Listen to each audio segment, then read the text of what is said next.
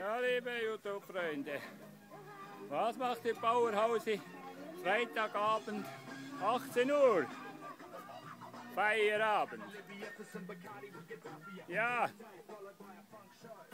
wir stoppen das Kartoffelgraben.